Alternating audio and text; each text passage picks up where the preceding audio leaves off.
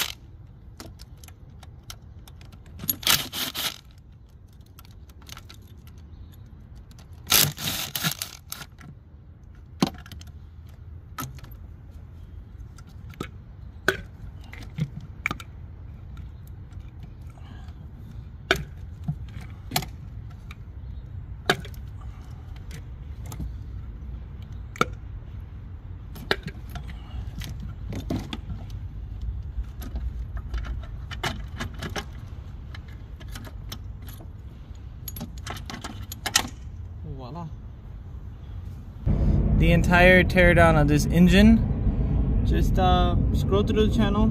You know, I have a whole entire teardown of me and Happy. We ripped everything apart. And um, yeah, so that's what we did. So definitely go through the channel, guys. And uh, I'm going to catch you guys when I get all this apart.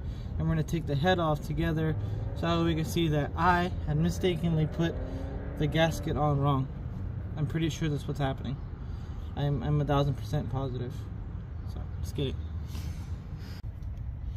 Alright, alright, alright. Let me set you guys down here.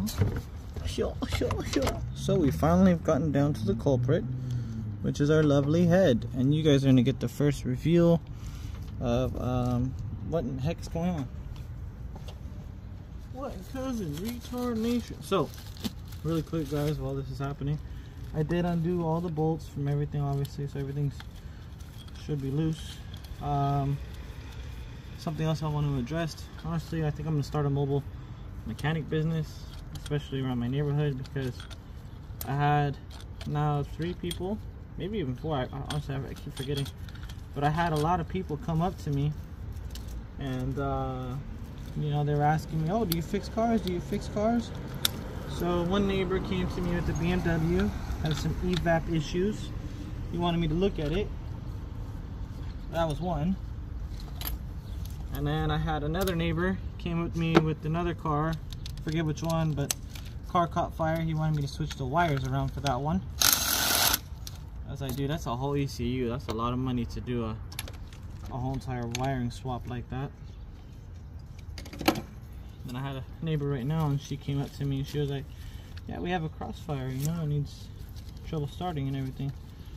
So I'm like, okay, you know, let me get done with my crap first, and I can come over there and look at it for you. You know, her and her brother had a guy come out, and you know, they looked at it. They don't know what the hell they're looking at. Relatively, at the end of the day, all engines are the same, but let's go ahead and take this off and see what I did wrong.